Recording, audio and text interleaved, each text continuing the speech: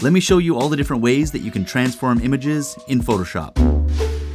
So in Photoshop, when we talk about transforming an image, we're talking about resizing, moving, rotating, skewing, and even warping.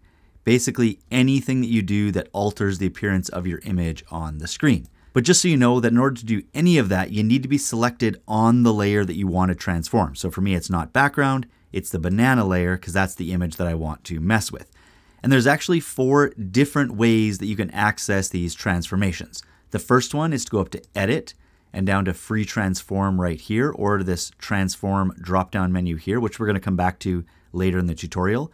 So if I click on Free Transform, you can see these little boxes show up and a blue line around the perimeter of the image. Plus this panel with all the adjustment options shows up as well. Another way is to go Command or Control T. That'll bring up the exact same stuff here. A third way is to just click Show Transform Controls. If I click on that, it's going to show up here, but you can see no panel up top.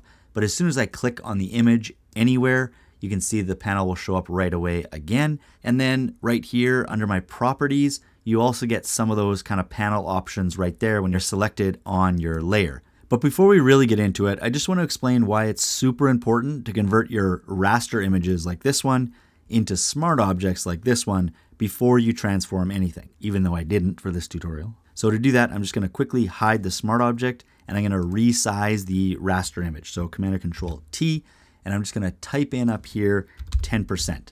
And then I'm going to commit to that transformation. So check. Now, if I go back into that one, so Command or Control T to go back into Free Transform, you're going to see that it's actually now at 100% again. It's not, it didn't remember that 10%. Because essentially for a raster image, when you resize it, it rewrites the pixels of that image. So it's now this size with way less pixels.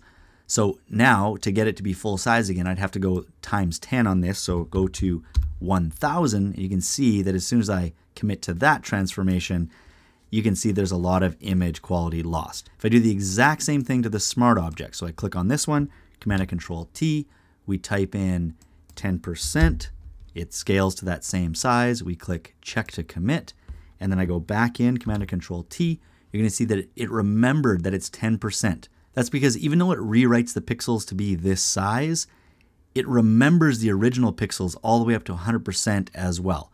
So if I now type in 100% to go back to the original and just place it where it was and click check, it remembered those pixels so it keeps the same quality. You can see no quality difference between the smart object that I scaled down and back up and the original background image here. And by the way, if you want to convert a smart object to a raster image, just right click and go to rasterize layer and vice versa. If you want to change a raster image into a smart object, just right click on it and go convert to smart object. Okay, so now we're going to go over all the different types of transformations we can make, one transformation at a time. So I'm going to go Command or Control T. That'll bring us into the free transform tool with the panel up here with all these numbers. And we're just going to go through kind of one section at a time so we know all the different possibilities, starting with this X and Y axis right here. So now you'll see if I click and slide to the right, the X axis is going to change, getting bigger as I move it to the right and smaller as I move it to the left. If I move up, the y-axis is going to get smaller, and if I move it down, it's going to get bigger. Next, we have the width and the height. So this is where you change the size of your image. And if you notice, it's represented as a percentage. So if I click in the corner and slide this down, you can see that that's what makes it smaller, and I can expand it out to make it bigger. So the percentage is higher as I expand it, and if I shrink it down, you can see the percentages drop. Note that they change at the same rate. So this one's 50% and 50%. They're always going to be the same as long as this chain thing is clicked. So if I move this down and uncheck it, you can see now I can squish, you know, stretch, do whatever to my image and kind of destroy the aspect ratio. Now you can see these numbers are different. One's at 102%, one's at 56%. If you want to fix that, all you have to do is click the chain back on and then highlight in one of the sides, either width or height, and type in a number. And then they'll both adjust to be the exact same number. And just so you know that that's how you can change any of these things as well. So not only can you expand it and adjust it right on the image right here, but you can also type in these boxes and you can even click on the parameter thing. So either the X, the Y, the W, the H, whatever. If you click on it and slide to the right, that parameter is going to increase. And if you slide to the left, it's going to decrease. So in this case, right makes the image bigger, left makes it smaller. If it was X over here, this would move it right and left. This would be up and down. Moving down a little bit, right here we have rotation. So again, you can click in here and type in a number to rotate. So positive numbers will rotate to the right and negative numbers will rotate to the left. Again, you can also click on this and rotate it that way. That's for like fine tuning adjustments. It doesn't move very far.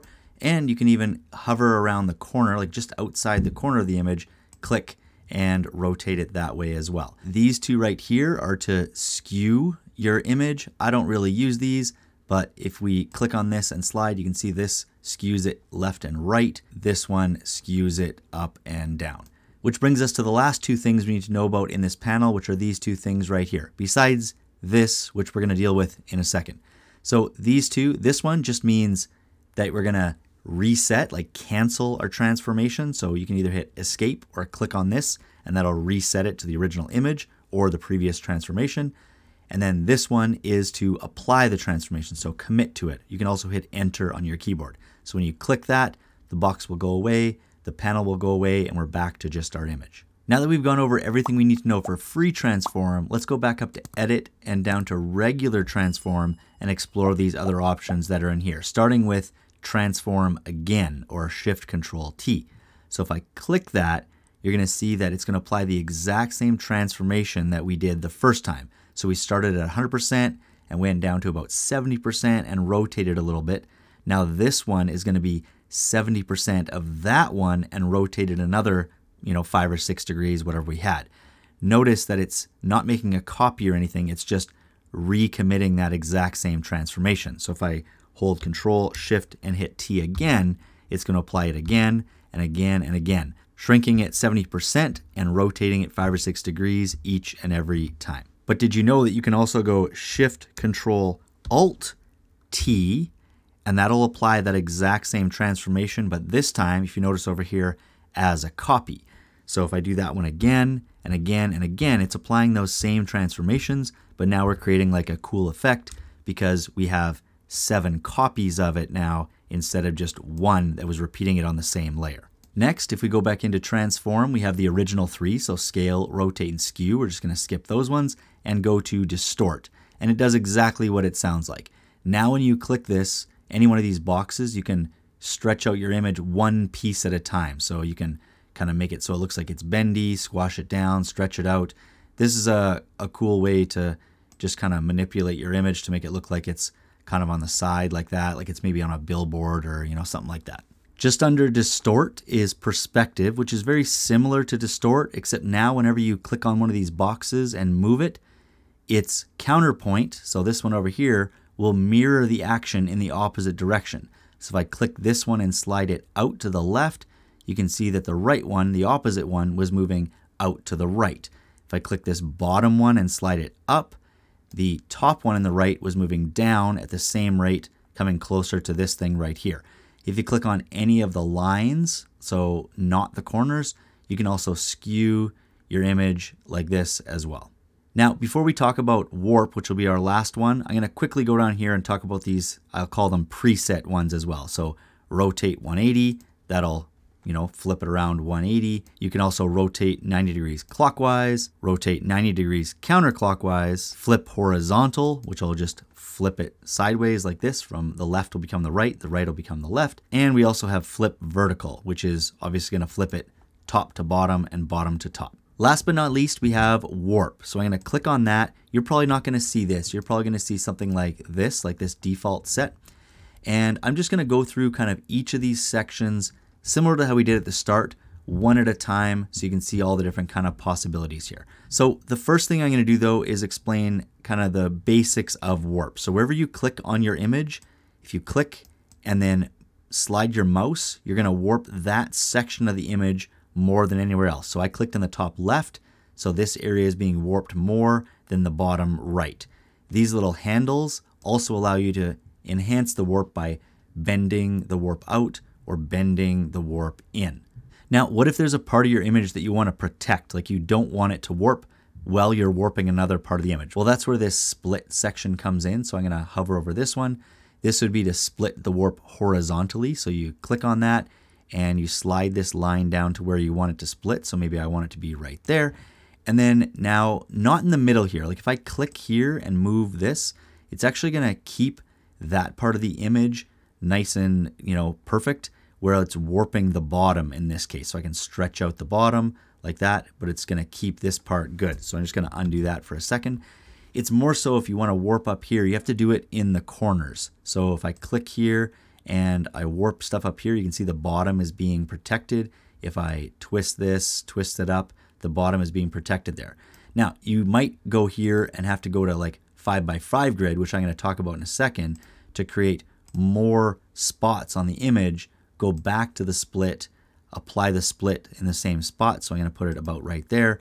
Now you have more areas that you can mess around with where as before we were just in the corners. Now as you're warping and twisting and doing everything to this image, the bottom is still being protected or is at least separate from the top. We can still warp this area as well without affecting the top and vice versa. So since we just talked about it, let's go over what grid is as well. Like right now, this is just the default view. But if you go into grid, you can change it to actual 3 by 3 which will give us these extra dots and grid points. I'm to go to 5 by 5 so you can see the one that we just dealt with, all these options. Again, if you click in the middle anywhere of any of these dotted sections, it'll move the whole section together and warp everything around it. If you click on a dot and move it, that's to be a more, you know, fine-tuned, precise warping spot. And then the handles are to twist and turn your warp. The final thing we're going to talk about in Warp is actually this little drop down right here. If you click on that, you're actually going to recognize these probably from like PowerPoint. I think these were like the cool way to make your text all awesome in PowerPoint. But before we do that, I'm going to show you this thing over here. So when I click on this, you're going to see that brings us back into the original panel of Free Transform. And if I hover over it, you can see this is a quick way to switch between Free Transform and Warp modes. So if I click back on it, now we're back into Warp free transform, warp. So let's go back here now to warp and see what these things do. These are really just presets that allow you to quickly mess with your image and make it look like one of these things. So if I click on arc, for example, you'll automatically get this arc at bend 50, whatever. But if you click on the box here, you can change the bend to negative and change the look of your image and warp it however you want. So let's just take a look at another one. Let's say bulge. As you click on this, you can change how the image bulges and maybe like this would kind of look good on like a like a water bottle or something like that. And just so you know that this right here changes the direction. So this was kind of up and down and bending it left and right. If I click this, it's going to change the bend. So now it's going to allow me to slide left and right, but the bend is happening curving up and down, like curving this way instead of the original one, which was curving this way. And then these two things right here again, this is for horizontal and vertical. If you click and slide, that's just going to tweak it and bend it one way or the other, like left and right. This is going to tweak it, bend it up and down to change how it looks.